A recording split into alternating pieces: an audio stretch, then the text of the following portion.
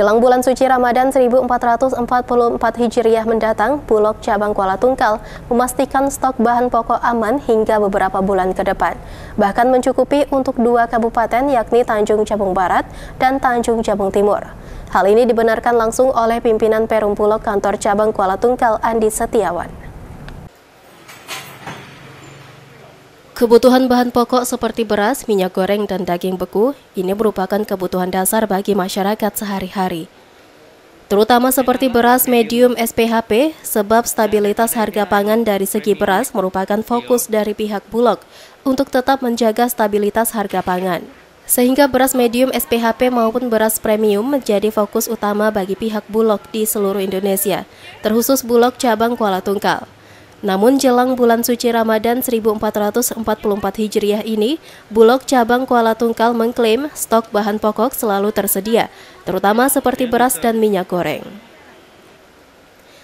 Pimpinan Perum Bulog Kantor Cabang Kuala Tungkal Andi Setiawan mengatakan, jelang bulan suci Ramadan ini untuk stok Bulog yang dimiliki Bulog Cabang Kuala Tungkal yakni 850 ton beras medium SPHP, 2 ton beras premium, minyak goreng 1000 liter, dan daging beku 2,5 ton. Stok produk yang dimiliki Bulog ini dipastikan mencukupi untuk masyarakat di dua kabupaten, yakni Tanjung Jabung Barat dan Tanjung Jabung Timur. Selain itu, masyarakat juga diminta untuk tidak khawatir, sebab kebutuhan dasar masyarakat seperti beras dan minyak goreng selalu tersedia di kantor Bulog cabang Kuala Tungkal maupun di gudang Bulog. Yang ada di Bulog Kancok Kuala Tungkal, pertama beras medium atau beras CDP itu sebanyak 850 ton. 850 ton itu artinya 250 ton ada di sini dan 600 tonnya ada di dalam perjalanan menuju ke Kuala Tungkal itu kalau kita ukur di ketahanan pangannya sampai dengan 4 bulan setengah lah itu aman soalnya ada juga beras premium kita sediakan hmm. nanti kan eh, berapa ton itu sebanyak.